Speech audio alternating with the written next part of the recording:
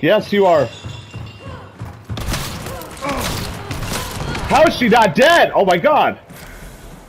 Alright.